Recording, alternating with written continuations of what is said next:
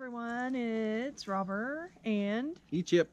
we're making a chicken trailer, Okay. I guess. I Chicken don't- tractor. A chicken tractor trailer. But anyway, we're going to try to uh, protect our chickens more from whatever killed the last chickens. You think this system may be better because one thing we noticed about the first chickens is that they only occupied one corner of the yard under a tree and they didn't really do any scratching or moving around or anything and I don't think we were feeding them too much where they didn't have an appetite for it. They didn't do anything. So hopefully this way it'll give us better control over where they are and where they can range and run and we can move the tractor where we want if we want them to scratch in that area or something like that. That'll be good. So, and we don't have to have that giant netting all over the backyard, which is collecting leaves. Yeah. So, we got to take this stuff down and get the new thing built. Come along.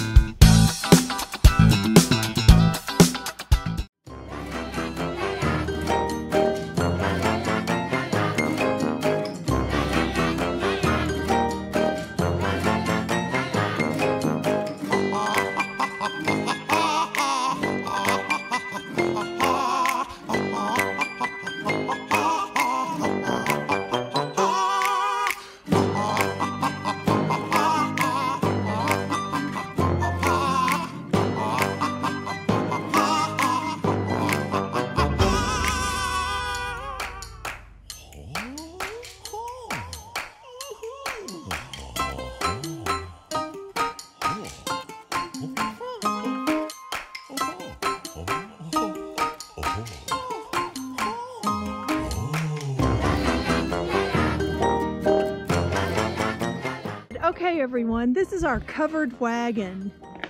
We're going to take it to contentment. I'm just kidding. This is our, well, yeah, but this is our chicken tractor trailer. So you can see we put a frame, 10 feet long rails, and then we took four pieces of PVC pipe, put screws down in there in the rails, rounded them over, then we just wire chicken wire to the top. That way nothing can get in and get our chickens and they still have a little bit of room and we can come move this every day or two or whatever. Right back here you can see the wheels. Now we have these two open spaces we still have to put some chicken wire on but we're out of staples. Then we have a in the back.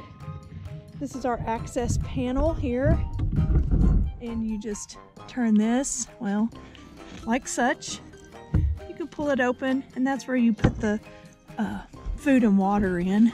We still have access to the top. The lid can open up right here like this, but nothing can get in and get them.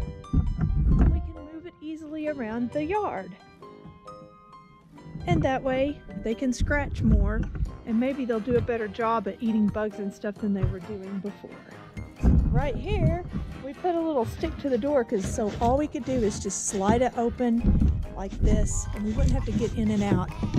And we screwed the little uh, galleyway gangplank thing down so it just moves with it. So this is our neat little plan. We did it. A chicken house, a mobile chicken coop.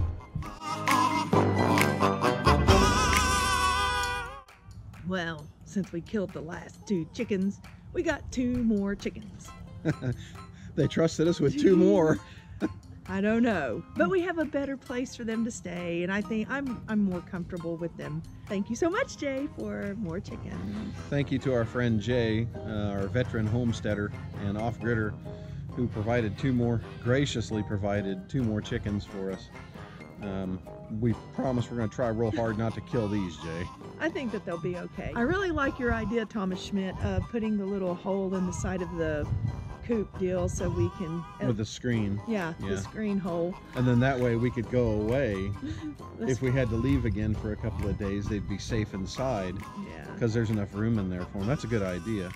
And uh, Jay, thank you also for the idea of um, putting, uh, angling some um, mesh or hardware cloth or expanded metal or something like that along the sides of the chicken tractor so an animal can't burrow underneath a predator can't burrow underneath it. So But anyway, uh, we'll show you the chickens. We'll get them released into the uh, chicken tractor and let's go.